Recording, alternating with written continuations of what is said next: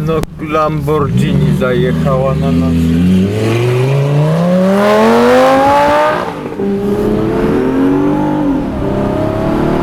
Chyba muszę pojechać nim. Tylko, że i nie dogonię oczywiście.